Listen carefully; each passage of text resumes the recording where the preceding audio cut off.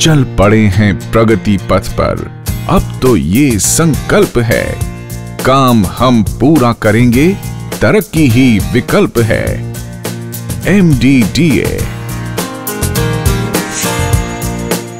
भारत के उत्तरी हिस्से में बसा गढ़वाल क्षेत्र, जिसके दामन को गंगा की लहरें चूमती हैं, जहाँ यमुना जीवन का राग सुनाती है। उत्तराखंड की खूबसूरत वादियाँ जिसका दुशाला बन की लिपटी रहती है। वहाँ बसे हैं हिंदुस्तान के सबसे पुराने शहरों में शुमार होने वाले देहरादून और मसूरी। देहरा का मतलब घर और दून यानी वादियाँ। वादियों का शहर देहरादून। दूसरी तरफ़ मसूर की उपज के चलते प्रसिद्ध हुआ शहर मसूरी। कुदरत की गोद में बसे ये दोनों शहर सदियों से एक खुशनुमा ज़िंदगी की कहानी सुनाते रहते हैं। प्रकृति ने इन शहरों को कुछ ज़्यादा ही अपनी नेमतें बख्शी हैं, जिनकी वजह से दुनिया भर के लोगों को ये शहर अपनी तरफ़ आकर्षित करते रहते हैं।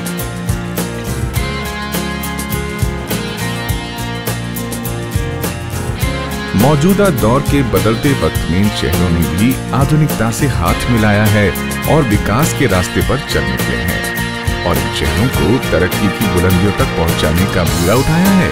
मसूरी देहरादून विकास प्राधिकरण, यानी एमडीडीए ने।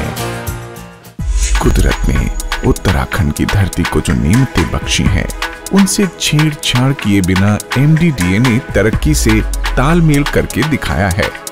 और इसी के चलते देहरादून क्षेत्र को केंद्र सरकार की अति महत्वाकांक्षी स्मार्ट सिटी योजना में शामिल किया गया है। देहरादून क्षेत्र के लिए यह गौरव की बात है कि इसे हिंदुस्तान की 100 स्मार्ट सिटीज़ में जगह मिली है। ये एमडीडीए की निरंतर कोशिशों का ही नतीजा है। हमने एमडीडीए का फोकस बद, बदल दिया। पहले वो केवल चालान काटने वाली एजेंसी थी यहाँ। डोंट डू वाली थी अब डू दिस वाली है। अब वो रिश्वना बिंदाल का फ्रंट, रिवर फ्रंट भी डेवलप कर रहे हैं। गरीब लोगों के लिए मकान बनाने के लिए ऑलरेडी जो है प्रोजेक्ट लॉन्च कर दिए गए हैं, उनको बना दिया गया है। हमने उनसे बड़े मात्रा में सड़कें बनवा रहे हैं और दूसरे काम करवा रहे हैं। मैंने कहा, और हमारी ज़मीनों की रखवाली भी हम इन्हीं को सौंप रहे हैं। हमने कहा, भाई, तुम जो है ज़मीनों की रखवाली भी करोगे और इनको बिल्ड करके गरीबों को वापस करोगे। सब ठीक तरीके से और आप देखिएगा, अगले पाँच साल के अंदर देहरादून का कोई गरीब ऐसा नहीं रहेगा जिसके पास अपना एक छोटा फ्लैट नहीं हो। देहरादून मसूरी को विश्व स्तरीय बनाने और विकास के लिए ज़रूरी योजनाओं को अमली जामा पहनाने के उद्देश्य से यूपी अर्बन प्लानिंग और डेवलपमेंट एक्ट 1973 के तहत उन्नीस सौ चौरासी में एमडीडीए का गठन हुआ था। तब से लगातार एमडीडीए अपने लक्ष्य की ओर प्रयासरत है। जिसके नतीजे बदलाव की कहानी खुद बयां करते हैं। वक्त कम है और चुनौतियाँ बड़ी, लेकिन एक वादा है खुद से, जो थकने नहीं देता। एक जिद है शहर के कायाकल्प की तो पूरी करनी है। लिहाजा, रात हो या दिन, काम का पहिया निरंतर घूमता रहता है।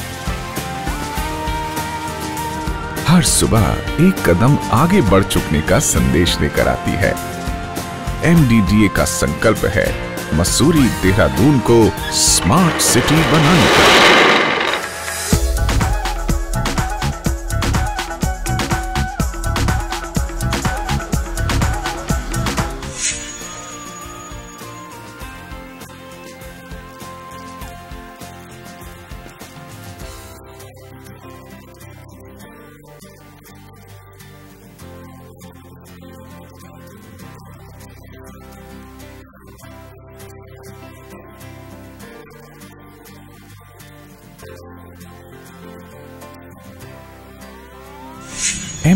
अस्तित्व में तो उन्नीस सौ चौरासी में ही आ गया था।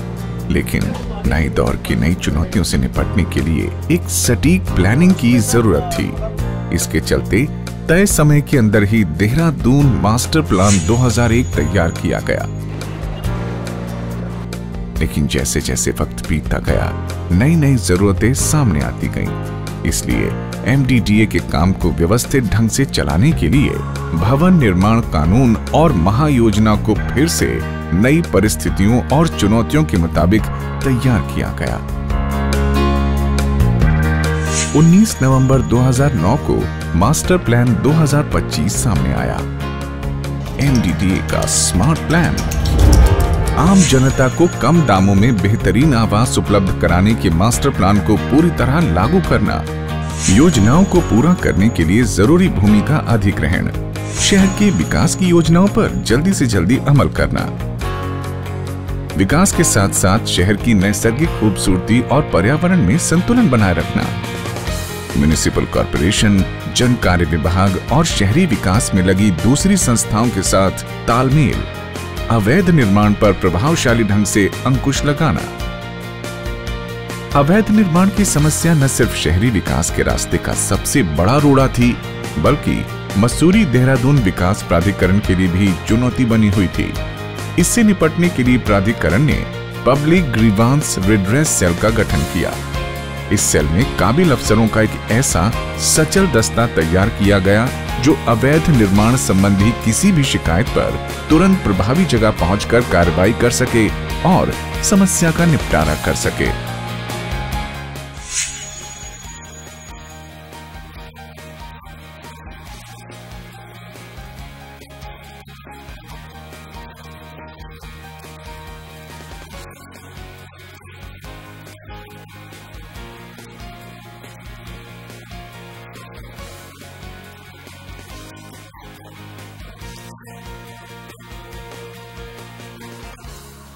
लेकिन अवैध निर्माण की समस्या इतनी आसान भी नहीं। ये समस्या लगभग पूरे उत्तराखंड की समस्या है। इस समस्या से निपटने के लिए सरकार ने जनहित में वन टाइम सेटलमेंट स्कीम के अंतर्गत प्राधिकरण के क्षेत्र में आने वाले अवैध मकानों को वैध बनाने की प्रक्रिया शुरू की। एमडीडीए ने जगह जगह घूमकर सत्तासी कैंप लगाए, जिसमें तीन हज़ार छह सौ इकतालीस मामले निपटाए गए और प्राधिकरण को इससे 15 करोड़ रुपए का राजस्व प्राप्त हुआ। भरोसे के लिए ज़रूरी होती है कामकाज में पारदर्शिता और जवाबदेही।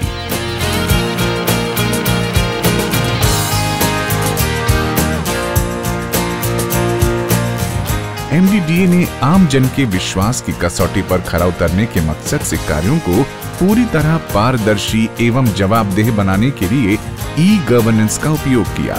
और सूचना तकनीक की मदद से प्राधिकरण को ई ऑफ़िस बनाने की तरफ़ कदम बढ़ाया। यानी इंटरनेट पर हर कदम की सटीक जानकारी। आम आदमी से रिलेटेड जितने भी हम कार्य हैं लाइक मैप का अप्रूवल के लिए पहले आदमी आता था। तो आके उस फॉर्मेलिटीज़ पेपर पे करते करते ही उसे कम से कम एक महीना, डेढ़ महीना, कई बार छः छः महीना भी फ़ाइल अप्रूवल होने लग जाता था। अब आम आदमी को यहाँ आने की ही ज़रूरत नहीं है ऑफ़िस पे। ऑनलाइन ही जाके वो अपने डॉक्यूमेंट्स सीधे ऑनलाइन सबमिट करता है। और अगर कोई क्वेरी होती है तो हम उसे ऑनलाइन ही भेजते हैं वहीं से उसका निराकरण करके भेज देता है तो फ़ाइल अप्रूव होकर उसके पास ऑनलाइन ही पहुँच जाती है। एम शायद देश की पहली ऐसी संस्था बन जाएगी जो कि पूरा का पूरा ऑफ़िस पेपरलेस पे काम कर रहा है। प्राधिकरण का portal M online dot in e governance का एक बेहतरीन उदाहरण है। इस पोर्टल से आम जनता को सबसे बड़ा फ़ायदा ये हुआ। कि अब वो घर के नक्शे बिना प्राधिकरण के दफ्तर के चक्कर काटे ऑनलाइन पास करा सकते हैं। इसके ज़रिए अब तक 11,000 से ज़्यादा मकानों के नक्शे पास कराए जा चुके हैं। इतना ही नहीं एमडीडीए ने तमाम योजनाओं से जुड़े सवालों के जवाब देने के लिए राइट टू इंफॉर्मेशन सेल का भी गठन किया हुआ है। और इस सेल के ज़रिए अब तक पंद्रह हज़ार से ज़्यादा सवालों का समाधान किया जा चुका है।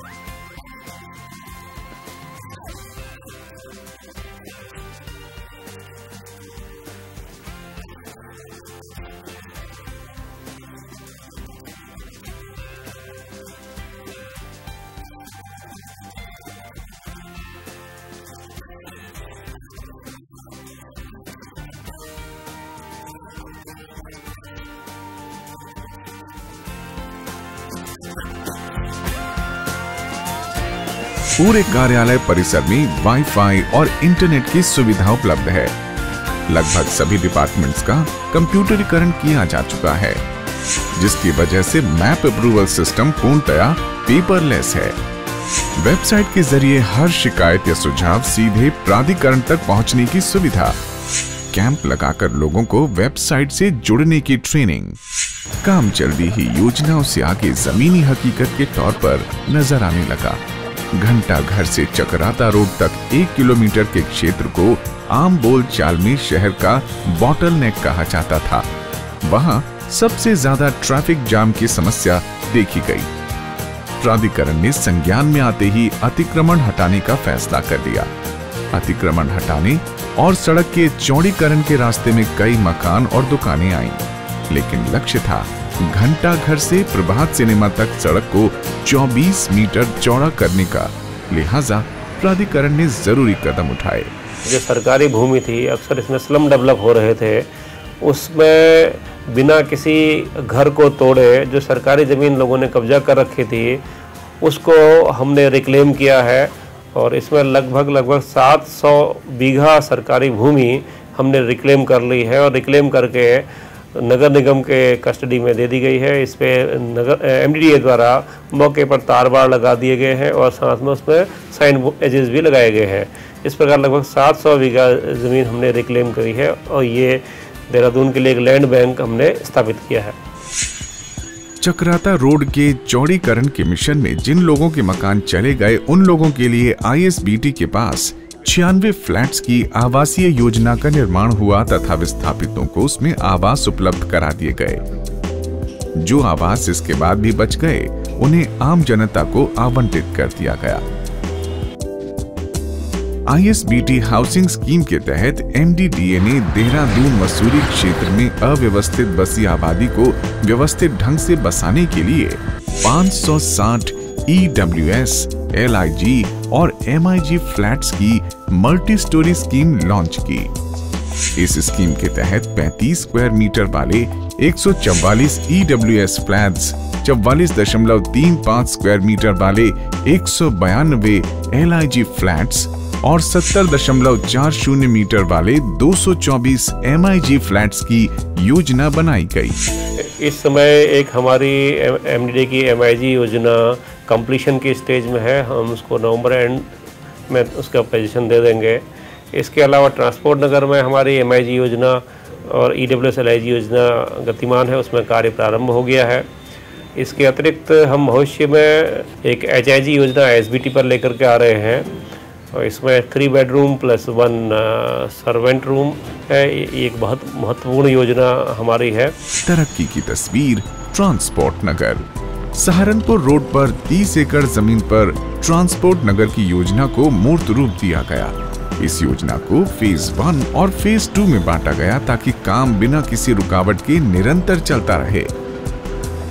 ट्रांसपोर्ट नगर फ़ेज़ वन में पाँच लोगों को एवं ट्रांसपोर्ट नगर फ़ेज़ टू में एक लोगों को पोजेशन दिया जा चुका है।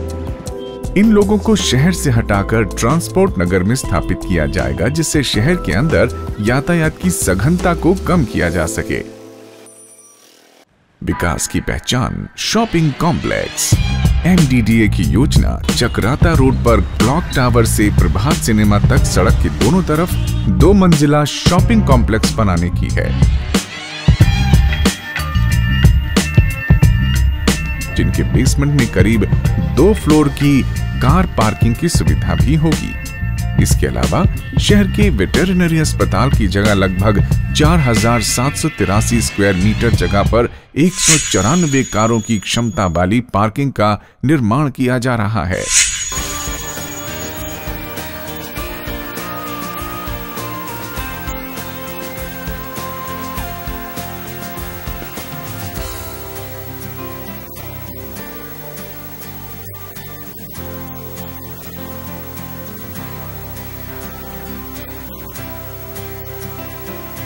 दिखने लगे तरक्की के निशान।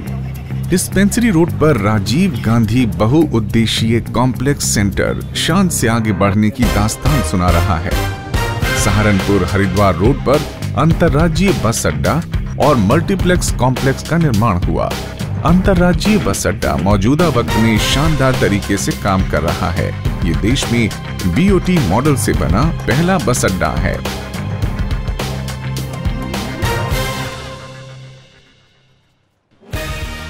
राजपुर रोड का राजसी अंदाज। राजधानी के महत्व को ध्यान में रखते हुए राजपुर रोड के काया पलट का निर्णय लिया गया। क्योंकि इस सड़क का वास्ता न सिर्फ़ आम लोगों से पड़ता है, बल्कि दुनिया भर से आने वाले पर्यटकों को भी इसी सड़क से गुजरना पड़ता है। राजपुर रोड सौंदर्यीकरण परियोजना के तहत जो निर्णय लिए गए, आज उनकी चमचमाती तस्वीर साफ़ देखी जा सकती है। चौराहों और सड़कों पर जगह जगह उत्तराखंड के साथ साथ मसूरी देहरादून क्षेत्र की पारंपरिक मूल्यों की वॉल पेंटिंग्स भी लगाई जा रही हैं, जिससे यहाँ आने वाले सैलानियों को एक ही नज़र में इस क्षेत्र के सांस्कृतिक, सामाजिक और पारंपरिक मूल्यों का एहसास हो सके।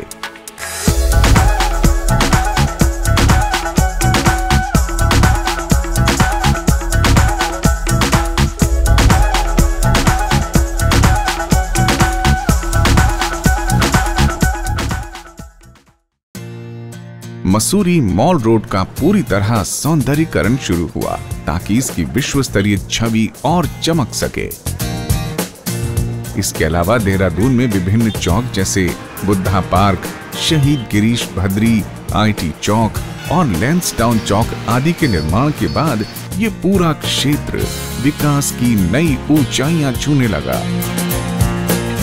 एनडीडीए ने सड़कों को तो विश्व स्तरीय बनाने पर ज़ोर दिया ही, बल्कि पैदल मुसाफिरों की सुरक्षा और सुविधा के लिए चार फुट ओवर ब्रिज के निर्माण का काम भी शुरू किया, जिसमें से एक तहसील के पास वाला फुट ओवर ब्रिज पूरी तरह कार्यशील हो चुका है।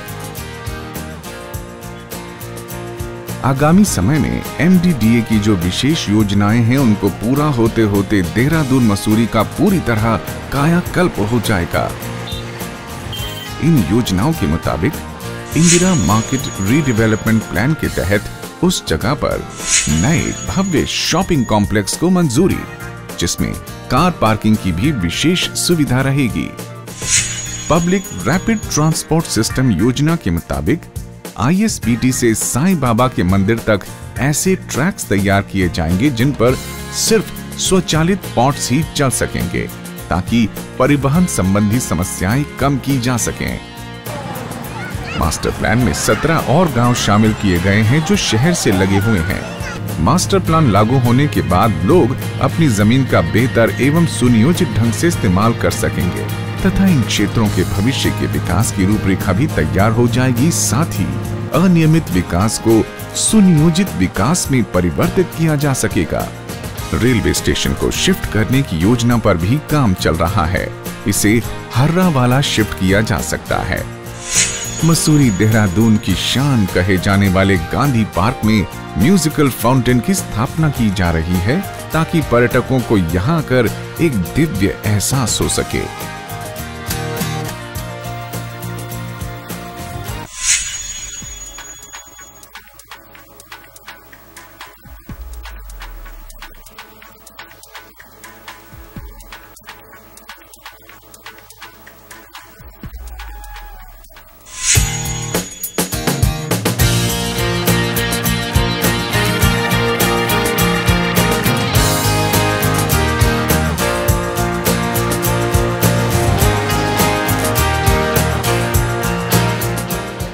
रैपिड ट्रेन चलाने की योजना, यानी लाइट रेल ट्रांसपोर्ट सुविधा पर काम लगातार चल रहा है।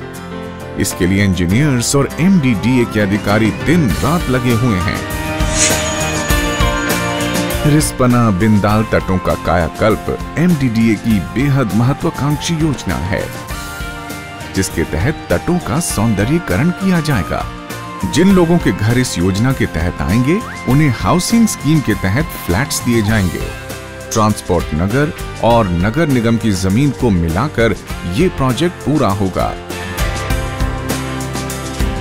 रोपवे का नया रास्ता। वो दिन दूर नहीं, जब देहरादून और मसूरी के बीच जल्दी ही एक और रास्ता खुल जाएगा। रोप वे यानी रोमांच और उत्साह का रास्ता। हवा में तैरते हुए देहरादून की देवभूमि से पहाड़ों की रानी से मिलन का रास्ता।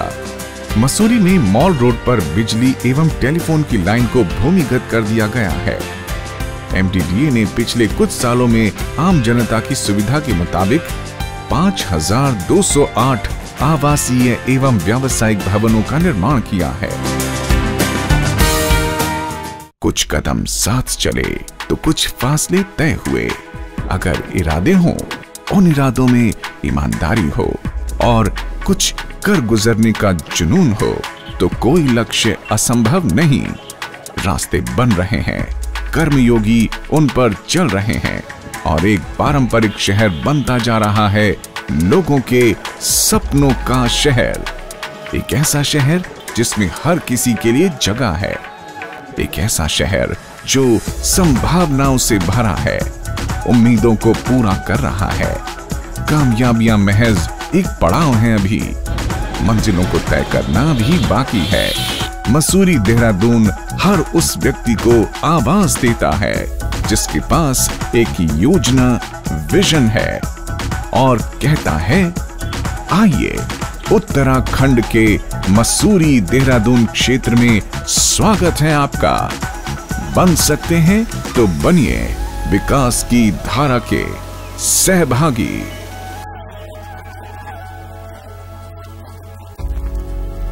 संकल्प है ये विकास का, है विकल्प हर एक आस का। उम्मीदों की ये उड़ान है, विश्वास की पहचान है।